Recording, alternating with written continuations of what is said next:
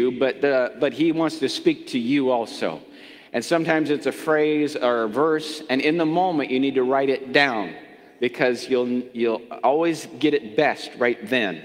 Otherwise, later on, you think, now, how was that? Or how did God say that?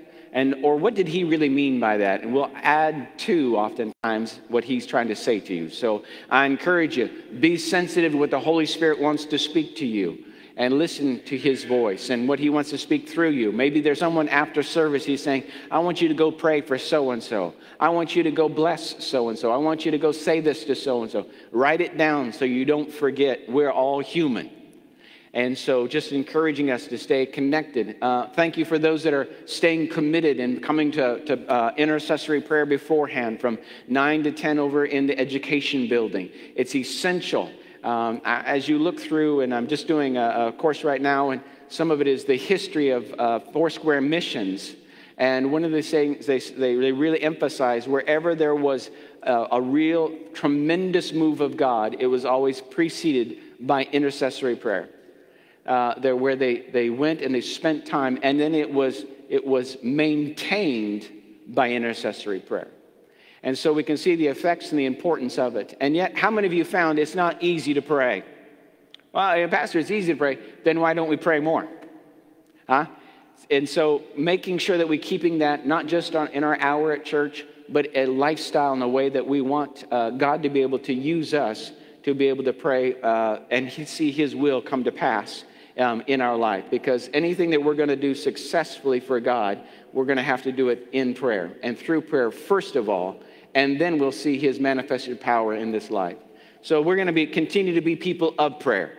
I want to say thank you for those that are here. Boy, Wednesday nights of um, um, over in the uh, ministering to the, the uh, children and to the youth is going fabulous. Everyone say, Praise God.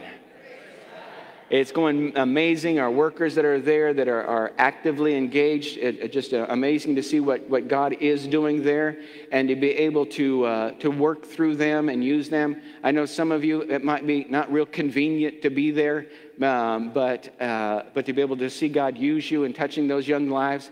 I was just talking with someone before service, and they even remembered uh, a few years back when they were involved in some of the, uh, the, the, situations that just break your heart that still today move you. And, and we want to we wanna reach everyone that we can for Jesus. But it's imperative that we reach them as young a age as possible. We want to reach them before we have to rescue them. Amen. And so, uh, so just thank you for your involvement there in prayer and those that are able to be a part of that and continue um, to do even more with your commitment in, in there. Uh, Wednesday night, just a good time to come to church. Uh, get a few more amens on that one. Even if you don't come, uh, at least nod your head and people think you're one of the ones that do. But encourage you to be here and be a part of what God is doing. Uh, last Sunday, Paula, again, you just did a fabulous job of being led by the Spirit and it was a great testimony. We've had uh, just even um, uh, people throughout the week just sharing how much, not just the testimony of Paula, but just the work that God did through her and those that were involved in that, just the importance of just being connected to the local body of believers. And we'll share a little bit more on the importance of that in a few moments, but just the importance of being together. Last Sunday, if you were here, we gave you a little magnet um, to go home with and a verse on that just to be meditating on this week. Um, if you didn't get one, there's, there's some extras, I think, around. You can see me. It's that scripture in Philippians 4.13, I can do all things through Christ that strengthens me. And I just, it's a, just a good magnet to put up on your refrigerator, to be meditating on, to be focusing on the word of the Lord. Put it up there uh, right beside the, the list of things you have to do in life, all right? Put in this first place, following after him and the importance of it. Today, I want to focus, uh, uh, for the most part, with this the simple thought of the power of divine connection. The power of divine connection. If you will stop and look at in your life, everything successfully that you do has a connection with a relationship with someone. I was just uh, listening to a, a podcast from a, a secular individual, well known individual, and he had said it this way every problem you have in life is really a relationship problem. Every problem that you have is either because of a bad relationship or the lack of a relationship that's going to help you to fulfill that. Now, he's predominantly speaking in a business setting, but he brought it down to family, brought it down to neighborhoods, brought it down to community. And isn't it interesting that the Bible is all about relationships? It's all about relationships. It's all about the relationship that the Father wanted to have with Adam and Eve, his creation. It's all about the relationship that God Almighty had with his servant Abraham and the covenant of relationship that he brought them into. That he wanted to demonstrate that he was going to bless the whole world through his relationship with Abraham and Abraham's seed, that we would be a part of, of that family. We go to the New Testament and we have the relationship of the Father and the Son, the Lord Jesus Christ. And the, the fact that we then are invited to be a part of this divine relationship called the body of Christ, the family of God, the kingdom of God here. It's all based on relationship. And as we move forward today in, in this message, the, the, the, the power of a divine connection is not just getting a hold of God so his power can just can move through our life, but having a divine connection in our relationship that will solve the problems of the world around us because of the relationship that you have with Almighty God, the relationship that you have with the Lord Jesus Christ, the relationship that you have with the body of Christ and the living word of the Lord. It's all about releasing that divine power through us. Now, we've seen that last week, and, and if you were here, you got the magnet or you've been meditating all week long on, on Philippians 4.13, that, that simple verse, I can do all things through Christ that strengthens me. We like that verse, don't we? Oh, that feels good on the inside. I can do all things. We could preach that one. I can. I can do all things through Christ that strengthens me.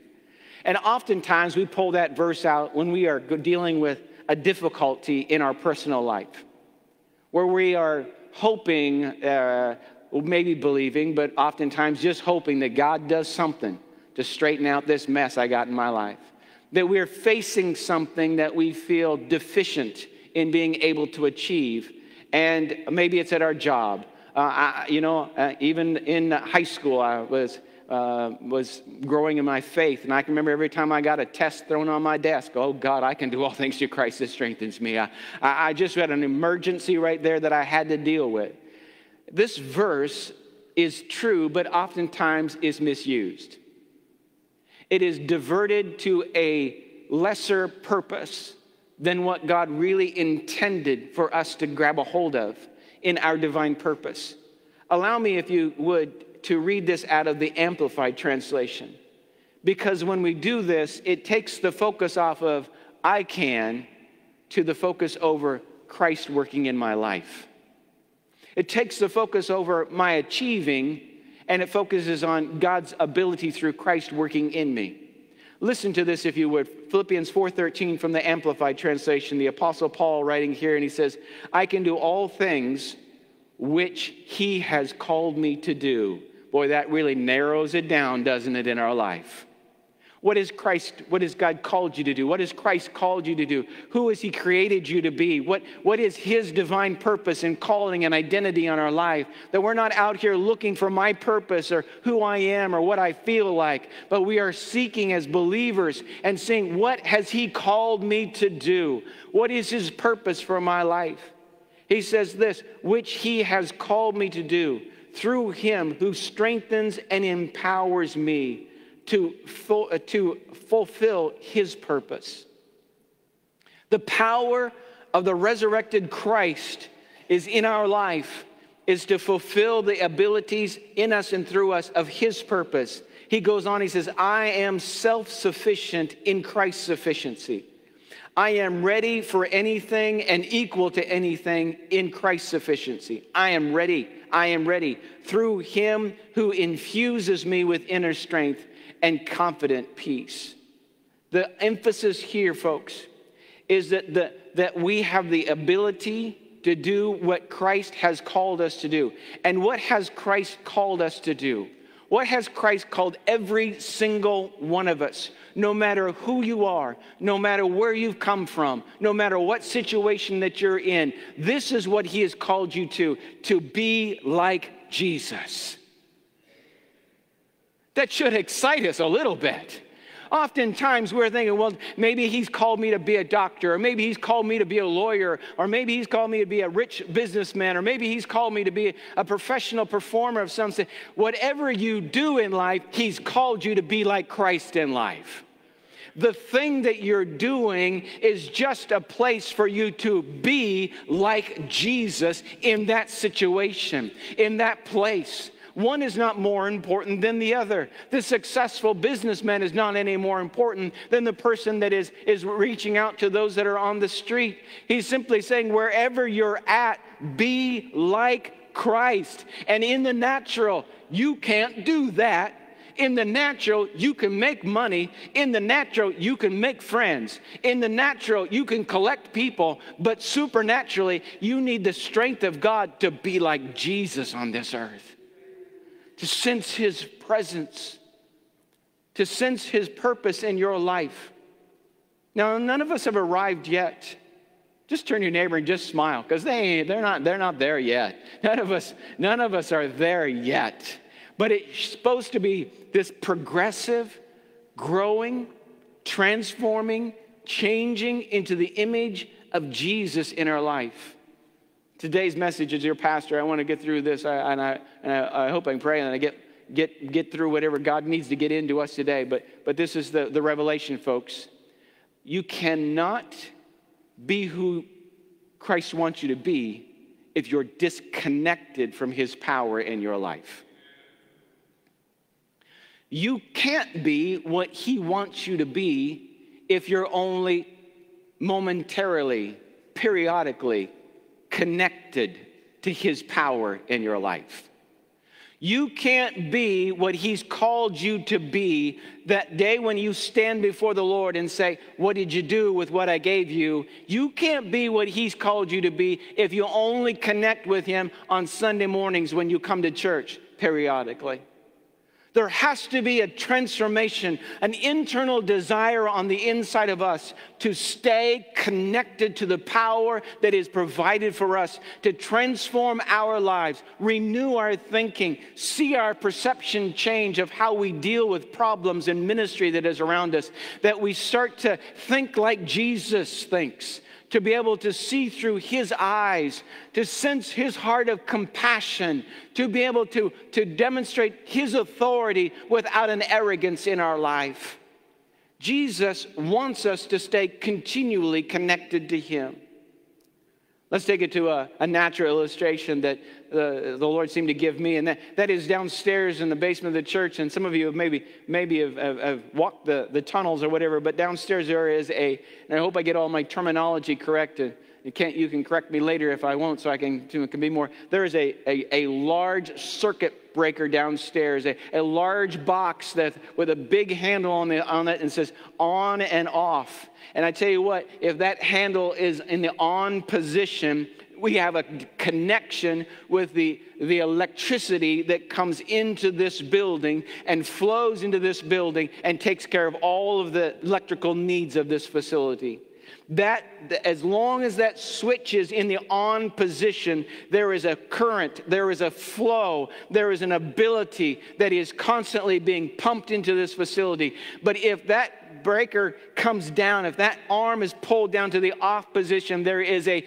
disconnect. Everyone say disconnect. There is a disconnect. And everything goes dead here. Nothing changes in the power plant Nothing changes to just on the other side of that box. But because of the decision to disconnect, from that point on, everything is dead. In our lives, we've got to make sure that we keep the connection on, that we intentionally keep the connection and the flow going into our lives. Let me tell you real quickly Jesus Christ is the same yesterday, today, and forever. There is never a question of the power flow that comes from Him to work in our lives, to transform and to change our lives.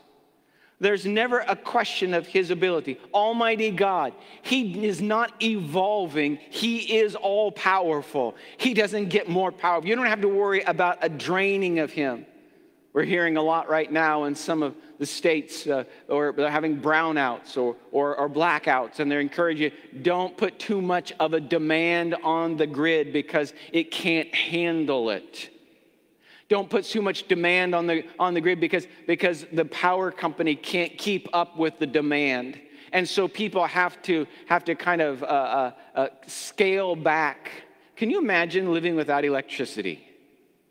Can you imagine living without electricity. We, every so often, my goodness, if the power just uh, goes off for about an hour, people are like, you know, calling the power company, telling them that there's an outage. I mean, you hear generators all of a sudden start kicking on around you. The people that have those, because you can't go just minutes without, uh, without that electricity. We got to have a, a life without electricity. What would that be like? To some, it would be a, it would be a break. But, but, but today, what we're emphasizing is this, folks there's no power shortage from the God side of the connection. And so we are the ones that need to take the responsibility of keeping the connection on so there is this divine flow in our life. You will never have to worry about a brownout in the kingdom of God. You never have to worry about a blackout. You never have to worry about God saying, just tone it down a little bit. You're drawing too much power from me at this time.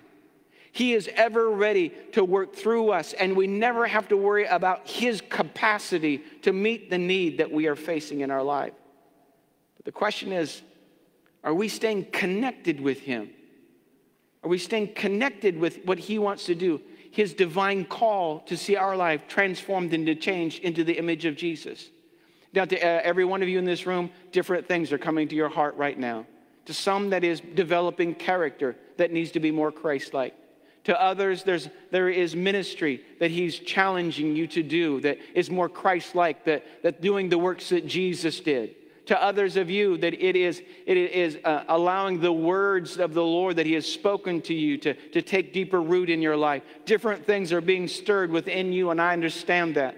That's why we keep the, the circuit connected. We keep that power flowing. To some, there's worries and doubts and fears that want to bring that, that, that disconnect in there. And you need to say, No, I'm keeping this connection on. I need the flow of God's power in my life. I don't know about you. There's not a day I don't need the power of God flowing in my life. I don't know about you. There's not a day my family doesn't need this guy allowing the power of God to transform and change my character to be more like Jesus than the old creature that still lurks around in my flesh.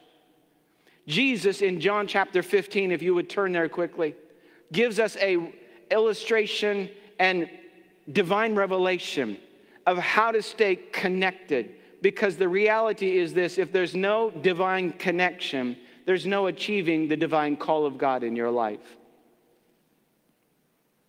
You can't do it without the power of God working through you. It's the way He set it up, it's what He's provided for us. He didn't ask us just to go to church and do something nice for people once in a while. He didn't ask you just put some money in the offering and He'll bless your life. He asked us to give our lives completely over to Him so that we could be transformed and be like Him. That we would take on His resemblance. That we would be imitators of the Father like dear, lovely, dear children that are loved of the Father. That we would be conformed into the image of Jesus. That's a process that goes on. And it needs the divine power of God to bring it to pass in our individual lives. But if there's no divine connection, then there's no divine achievement. How connected are you to the flow? How connected are you to the divine power of God? How connected are you to the, the holy current of the Spirit of God in your daily life? How connected are you? Jesus gives us this wonderful illustration, John 15, and today I'll be reading out of the uh, New Living Translation. I know some of you have the New Living Translation, so today we'll be re- uh, reading out of the New Living Translation, John chapter 15, verse 1. Jesus has these tremendous words I am the true vine, and my Father is the gardener. He cuts off every branch of mine that does not produce fruit, and he prunes the branches that do bear fruit so that they might produce even more. You have already been pruned and purified by the message that I've given to you. Remain in me, and I will remain in you. For a branch cannot produce fruit if it is severed from the vine. And folks, if you don't have this next one underlined, I appreciate if you did. You cannot be fruitful unless you remain in me. Makes it pretty simple, doesn't it, folks? He goes on in verse 5 and he says, Yes, yes, I am the vine and you are the branches. Those who remain in me and I in them will produce much fruit. For apart from me, you can do nothing. There's a revelation right there. Anyone who does not remain in me is thrown away like a useless branch and withers. Such branches are gathered into the pile to be burned. But if you remain in me and my words remain in you, you may ask anything you want and it will be granted you. When you produce much fruit, you are my true disciples. This brings great glory to my Father. You see, the very end of this portion of scripture that we just read is really the climax of what we're heading that we are disciples of Jesus and living in a way that he is glorified that we are producing much fruit as a result of the divine connection and the flow of his supernatural power or ability through our lives that results in a tremendous harvest in our life. God wants you to have a bountiful blessing of harvest in your life that results because of your connection with him that brings glory to the Father. Jesus is giving us this amazing illustration I so appreciate the simplicity of the illustration that we can understand it and, and quickly apply it to our own lives. That, that this, this spiritual application, you know, there's so many things we could pull out, but let's stay connected with this, this thought of the, the divine power flowing through our lives. This divine power that Jesus is revealing to us is available. That he says is the Father's created way to produce his will in this life. But here's also the thought we need to hold on to. This also reveals to us and also reveals to the enemy how to stop us from producing for the kingdom of God is simply to sever us, to get us to pull down the disconnect, get us to give up in our lives. We like that scripture in Philippians 4:13, I can do all things through Christ that strengthens me. But put that in connection with the verse we just read there in John 15, 5, where Jesus says, Apart from me, you can do nothing.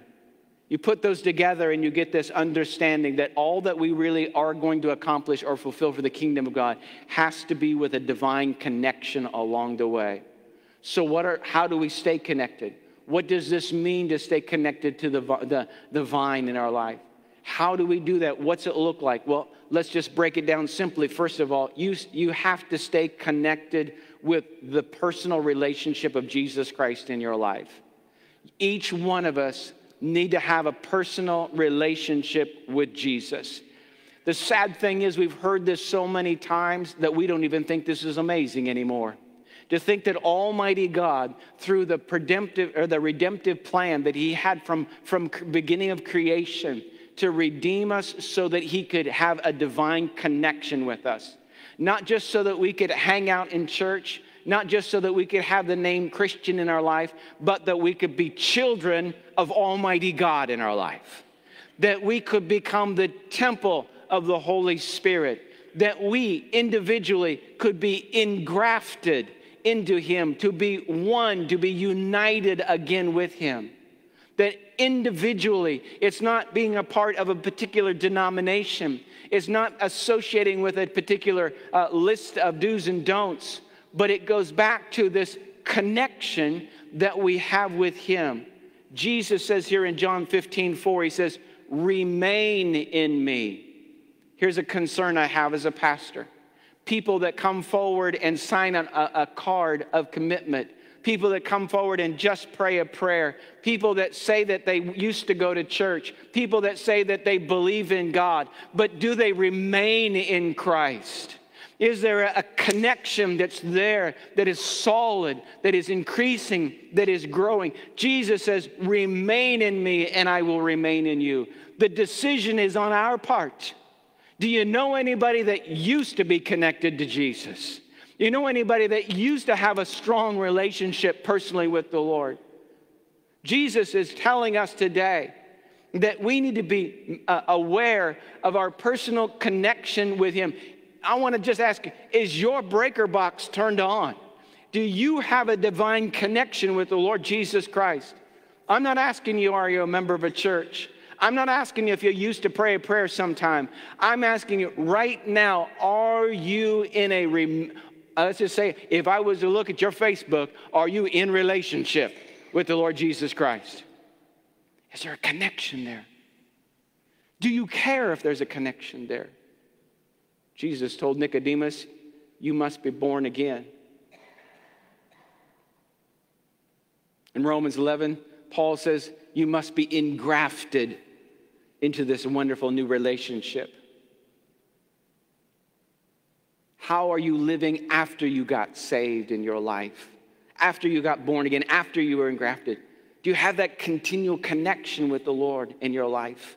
How valuable is it? How important is it to you? Philippians chapter 3, verses 7 through 11. Again, the New Living Translation here. The Apostle Paul starts to, uh, uh, this amazing theologian, this, this man that had, uh, had incredible uh, manifestations uh, uh, of the power of God in his life, this, this individual who, who wrote some, some two thirds of, of, the, of the New Testament, of the epistles that we have to us today, this great revelation in, in Philippians chapter 3, verses 7 through 11. Listen to the words of this man that had achieved so much, this great apostle, this amazing individual that we, we look back to and see the great missionary trips that he took and the achievements that he did. He says, I once thought these things were valuable you should just draw a line if you're taking notes right now. You, you put in there what, what used to be valuable to you, what used to be important to you, what used to be significant to you.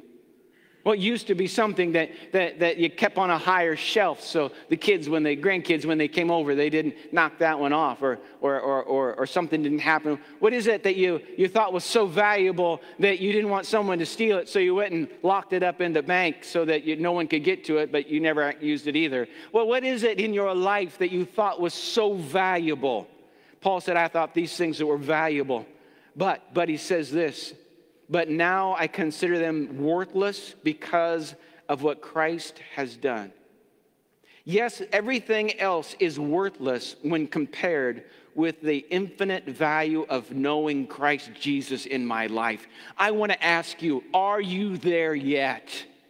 Are you at a point where you're saying there is no relationship, no situation, no job, no amount of money, no, no reputation to me is as important as uh, compared to knowing Jesus in my life? I don't care what people think about me. I don't care what opposition comes to me. I don't care what I lose in this world. It is all worthless compared to you can come and steal the lint out of my pocket. I'm not going to fight you over it. That's what it's like when people try to come and take away from you compared to knowing the Lord Jesus Christ in your life.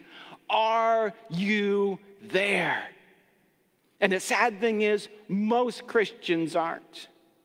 Most of us have a when I die, go to heaven relationship instead of this constant current of the divine presence of God in our life, that we have this relationship with Him personally. And I'm saved. I'm saved. I'm saved from hell. I'm saved from my sins. I'm saved from myself. I'm saved from the attacks of the enemy. I'm saved from the lures of this world, the temporal things of this life that want to try to control me so much and cause me to make decisions. I'm saved. I'm delivered from all of those things. I'm saved and I'm on my way to heaven. But along the way, I've just got a growing revelation of the presence of Christ in my life. He goes on and says, For his sake, I have, I have discarded everything else, counting all as garbage.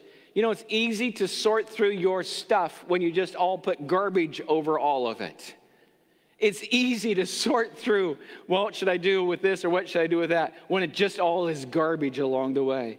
For his sake, I discard everything, counting it all as garbage, that I could gain Christ and become one with him. There's that union, there's that oneness that we're talking about. I no longer count my own righteousness through obeying the law, rather, I become righteous through Jesus Christ. For God's way of making us right with Himself depends on faith. I want to know Christ. We could stop there and, uh, and you could read on later yourself, but, but the, the thing is that Paul is saying that as I'm going forward in my relationship with the Lord and this personal connection that I have with Him, this, this I am the vine uh, uh, and, and, and branches and, and fruit that is growing, that Jesus is demonstrating that He's saying He's the vine, we're the branches, that I want to stay connected to Him like no other so that His power can throw, flow through my life and transform me. I consider everything else loss compared to that in my life. Any real relationship you have will cost you something along the way. It's not a bad thing, it's just a revelation along the way. Any relationship you have is going to cost you. But the difference is when it's a positive relationship we're in, we see it as an investment. When I have a positive relationship with my wife, it's not that I don't get my way all the time. I get an investment. There's a I give her her way once in a while. And because of that, then she gives me my way, uh, usually eventually along the way. Now, but, but what I'm saying is, is any relationship that we're in, there's an investment that goes into it. I'm gonna have to, I'm gonna give into this. I want to be a part of this. This is something that I value. This is something I want to hold on to. And other things that seemingly would cost me, actually, they're not valuable enough to keep in my life because I consider this relationship more valuable. Let me ask you this How, how or what are you investing in your relationship with Jesus? Maybe I could say it this way What does it cost you to have a relationship with Jesus? What does it cost you? What are you investing in this personal relationship with Him?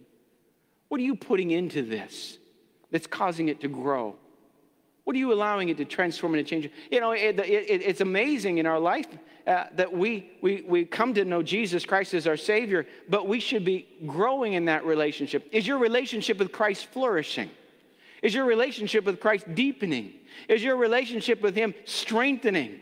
Those are all things that he wants. Jesus is the one that, that wants to be a, a, friend that sticks closer than a brother. He's the one that said, I'll, I'll never leave you nor forsake you. He, he's the one that, that made a way. And I was just talking with, with Mike earlier uh, about the, the, the sacrifice that Jesus was willing to go through so we could have this relationship. He's done a lot for the investment of this relationship. What are we doing in it?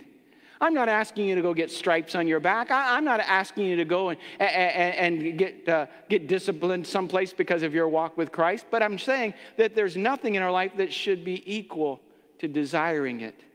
I'm not saying you can't have a TV in your house. I'm just saying, how connected to Christ really are you? How committed are you in your relationship with Him? What does it cost you to stay connected? connected? What is it, what is it seen as, as valuable in your life? Do you only go to Jesus when you've got a problem? Do you only go to Jesus when you need a miracle? Do you only go to Jesus when life is, is falling apart around you? And then you go to Him and say, yeah, do something. But, folks, I want you to know you need to start your day with a fresh expression of your appreciation of the commitment that you have with the Lord Jesus Christ in your life and live out that day living it for Jesus. Paul said it this way I have been crucified with Christ. Nevertheless, I live. But it's not me, it's Christ living through me. He had the divine connection with his relationship with the Lord Jesus Christ. The thing we could see quickly after that, where Jesus is telling us, How do you stay connected to me? Number one, your relationship. Number two, stay connected to the body of Christ, his church. Stay connected to Christ, stay connected to his body, the church. Can I get an amen? Everybody here on Sunday morning. Stay connected to his body. He said it this way in John 15, 5. He said, Yes, I am the vine, and you are the branches, plural. A vine would be silly to just have one branch. He wants the vine to have branches, the one vine to stay connected. Now, I know that uh, really theologically we could say he's talking about the universal church because there's just one, one vine here, and I'm not opposed to that. But he has the local church, the local body, for us to come together, the significance, the important for us to come together. He said that you are the branches. Those who remain in me and I in them will produce much fruit. It's incredible when there's a, a them, what we can accomplish and what we can do. And where there's a them where we fulfill the will and the plan of God, where in our community, right, locally, that we're able to demonstrate the power of Christ in our lives and the relationship that we have working together. I know every one of us in this room have heard someone say, You don't have to go to church to be a Christian. And that's true. You don't have to go to church to be a Christian. But according to Jesus, Christians should be connected to the one vine. There should be a place where we come together, that, that we're able to draw nourishment together, that we're able to produce fruit together, that we're able to share our giftings together as the body of Christ. Quickly turn over to Ephesians 4, where the Apostle Paul dealt with this on the importance of a, of a local group of believers that are coming together, that the, that the church, and, and may we, we quickly and, and I think you've got it at Grandview, but I just need to say it publicly because it has been so. Uh, well, we'll just say just say this. Church is more about what you put into it, not what you get out of it. Church is is not just well, I'm going to go somewhere where I get something. You will, you should, but church should be someplace where you go that you give something. If we're going to be like Jesus, Jesus went around being a blessing. Jesus went around ministering to those that were in need. Jesus went around helping those that were hurting. Jesus went around encouraging those that were discouraged. Jesus went around doing and serving, not just in church services, Uh, many of the miracles that Jesus did was along the way as he was going from one city to the next.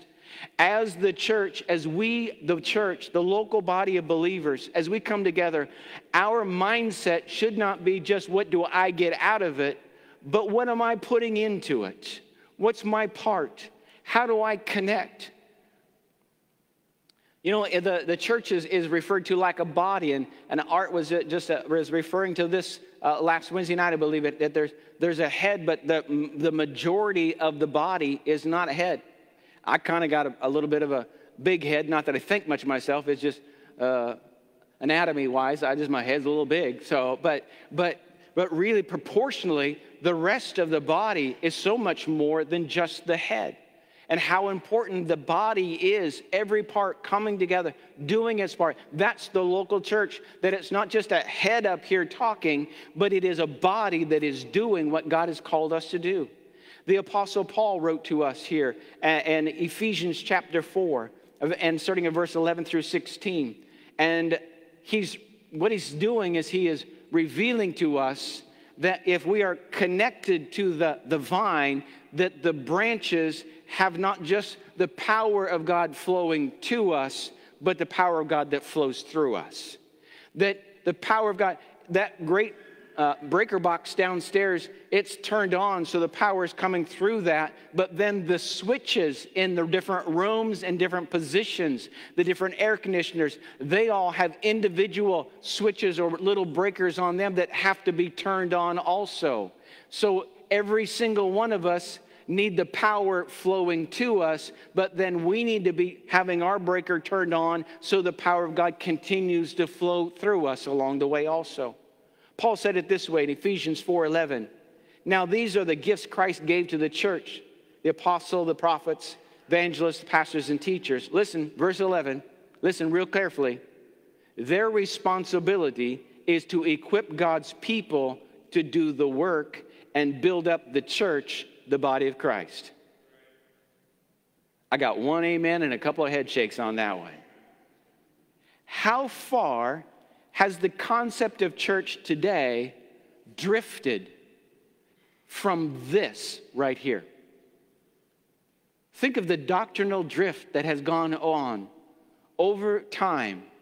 That church is now a place that I look to see whether I fit in in the sense of whether I like the people that go there, whether I like the sermon the preacher preaches, whether I like that kind of music, whether I like its location, whether I like how long the service is. Paul, under the inspiration of the Holy Spirit, says the five ministry gifts are given so that you, the body of Christ, may do the work of the ministry. I don't usually use four letter words in church, but W O R K, the work of the ministry that goes on, is our responsibility as the body of Christ. And every single one of us are needed to be able to accomplish that work. He goes on here in verse 13, he says, This will continue until the until all come to such a unity in our faith and knowledge of God's Son that we will be mature in the Lord. Notice again, the focus is on being Christ like, measuring up to the full and complete stature of Christ, standard of Christ. Verse 14, then we will no longer be immature like children. We won't be tossed uh, uh, uh, and blown uh, uh, about every wind of new teaching we will not be influenced when people try to trick us with lies so clever they sound like the truth. Instead, we will speak the truth in love, growing in every way more and more like Christ, who is the head of his body, the church. He makes the whole body fit together perfectly as each part does its own special work. Just turn your neighbor and smile and say, You're special. You're special. You're special. Every one of us have a special work. Every one of us have a special purpose. Every one of us are called. But, but, but, but even in our individual calling, the ultimate purpose in that is that we become the body of Christ. That we are, in one sense, lose our individuality as we come together to accomplish His work here in this earth and we come together by the supernatural presence of the Holy Spirit's power working through us, aware of these, these graces, this, uh, this, this, this supernatural giftings that He's put into our lives, that we come and we share them with one another. We give them and invest them in one another's lives. We understand that we should be a part of a church that is different than one another. And we come together and then we represent who Jesus is in this day. The, uh, let me read that again. As each part does his own special work, it helps the other parts grow. Isn't that amazing? When you do what you're supposed to do, it helps others do what they're supposed to do, which helps you do what you're supposed to do. It's this continual action that goes on so that the whole body is healthy and growing in full love. Wow. It should be no wonder why the adversary tries so hard to divide the body of Christ. It, it shouldn't surprise us why it's so difficult for us to come to church. Because if we're not even coming to church, it's difficult for us to be the church. Isn't it interesting that church becomes an option instead of a priority? It's not that we're just trying to fill the seats, and it's not that we're trying to just get more money in the offering, but what we're trying to do is for us to fulfill our special purpose connected as the body of Christ. I went ahead and brought my whole body to church today. I didn't say, you know what, I'm right handed, so I really don't need my left hand. I can get by with it, so I'll just leave my left hand at home. No, that's got my wedding ring on it. My wife thought I needed to bring my left hand along with me. You know, I, am uh, it's not that we, uh, I'm going to be speaking, so I don't need my ears today. So I'm just going to leave them at home. They've got, they can uh, listen to, a, to TV while I'm gone because I don't need my ears today because I'm just going to be speaking. It's when my whole body showed up that I was able to do the m- most productive work that's called me to do.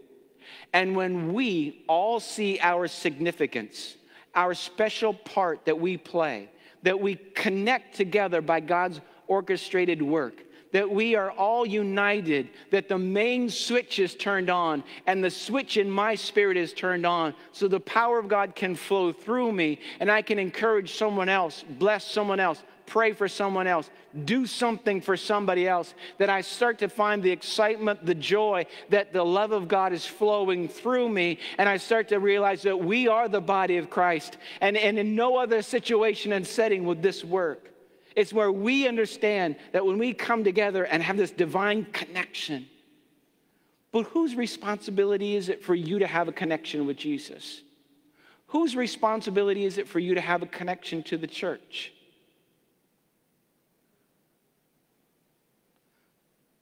Do we value these relationships? Do we live like we value these relationships? Again, folks, it's not that we're trying to just get more people to show up at church. We're trying to get more people connected spiritually to their, their purpose so that the power of this divine connection can continue to flow through our lives to accomplish His purpose and His will in our life. How connected are you to Christ personally? How connected are you to the body of Christ, to the local church? Well, I don't know anybody at church, Pastor then get to know somebody and introduce yourself to somebody. I don't know where I would fit at church. Uh, just be here, be a part of things. Uh, be here uh, during service. Find someone that's sitting by themselves and greet them. Talk to Him for a moment. You might be surprised what the Holy Spirit would speak through you in that moment. Find out where, what is something that needs to be done. Well, we need, need some help now. Well, I don't know if I want to do that. Well, you know, then we can either find something else or sometimes, sometimes we, sometimes we even have to do stuff that, that we don't want to do. Do you know that? Do, do, do you know that? Sometimes we got to do stuff that we don't even want to do. I tell you the other day, Thursday, uh, uh, I mean, Paula did such a good job of, of testifying last week. I didn't get a chance to preach my sermon, so I had my sermon all ready for this week. That was good news, wasn't it? That's good news. Here's the bad news of that. That meant Thursday I didn't have to spend time studying, so it was a great day to go uh, cut the shrubs outside. That was bad news. So worked out all, out there all day uh, in the shrubs. Do you think I wanted to do that? No, I didn't want to do that. Do you think the thought came to my mind there should be someone else in this church out here doing these shrubs? Possibly, possibly that thought came to my mind. But there was then this voice that came to me so whatever you do, do it as unto the Lord. So am I going to do something I don't want to do as unto the Lord and just be thankful for the opportunity to be able to do it? I was out there, had, my, had the, the gas trimmers out there had flashbacks from when we used to be on the other side of town when we used to do shrubs over there and had the different long drop cord you have to drag along with you and cut and then the drop cord would get disconnected one way or another. Sometimes i'd disconnect it when i was cutting. But uh, you know had grass trimmer. I thought, a gas trimmer. Oh god thank you. You blessed our church enough that i've got a gas trimmer now that i can get this done a lot quicker and get it done faster. Pastor that's kind of a silly illustration. No it's a practical application there's times that there's things that need to get done that you might not feel comfortable doing or you don't want to do or your flesh doesn't want to do. But you need to find a spiritual way to, to get connected and do what needs to be done along the way and see the power of God flow through your life and be fruitful and to be fruitful and not worry about someone patting you on the back. I didn't say that illustration so everybody will come up afterwards and tell me how nice the shrubs were. Actually, I don't want you to look at the shrubs when you leave. As one man said, some shrubs are just ugly. They're just ugly. You ain't nothing going to do about it. But how are you staying connected? Do you see it as valuable? Next week, we're going to go to the next one, which is probably the most, most obvious one. But this is the one I want you to pause and think on this week. If you weren't here, would it affect the health of this church? And if it wouldn't, then you need to change. Because according to Paul's writings, every person has a special gift that brings health to the whole body. And it's not about your gift, it's about the health of the body that reflects Christ. How And I'm not saying it in any kind of a guilt way, I'm saying it in a discovery way. God, what do you want to do through me when I turn this switch on? Holy Father, we thank you for your calling, your desire to have relationship with us. Holy Spirit, thank you for being the power of God present in our life and speaking to us. Forgive us, Lord Jesus, for living such self consuming lives. Forgive us for not making room for you in everything that we do. Forgive us for devaluing our relationship with you and the connection that we should have with your local body. We ask that the, the presence of the Spirit of God would speak to us, convict us deep on the inside so that we can be truly doing your work that we don't just make it to heaven, but we make a difference here on earth because of the power of the Holy Spirit transforming and changing our lives. May we, as individuals, this week invest in our relationship with the Lord Jesus Christ. May we this week invest in the local body, reveal to speak to us, give us something we can do that is going to bring health to this church for your glory. Give us something that you want us to pray, something you want us to say, something that we can do that is going to make a difference for your glory and the health of this church so that you will be glorified. That's our goal. That's our desire. In Jesus' name, amen. And as I say on a regular basis, if you need prayer, find someone around you to pray. If you feel like you've got someone you need to go pray for, just go ahead and do what the Holy Spirit has put on your heart to do. But you, being the body, does the work of the ministry.